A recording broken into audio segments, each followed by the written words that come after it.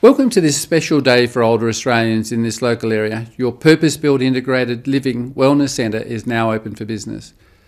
This is one of several such centres being established across rural, regional, and remote Australia.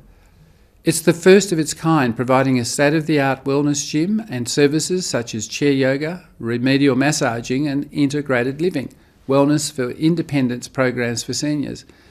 This Wellness Centre complements our government's commitments to older Australians through the More Choices for a Longer Life package announced in the 2018 19 budget. The More Choices initiative is ushering in a new era of protecting, supporting, and caring for our elders, with a special focus on regional Australians. We want to give people more certainty through better access to care, better quality of care, and better ageing. Our government wants to enable people not only to live longer, but to have more fulfilling lives, as healthy as possible, active, independent, and connected to the community around them. There are new programs to help older people plan for the future, participate in sporting groups, and receive the mental health and social support they need to make the most of our lengthening lives. It's all part of our government's additional aged care commitment of 5 billion over 5 years.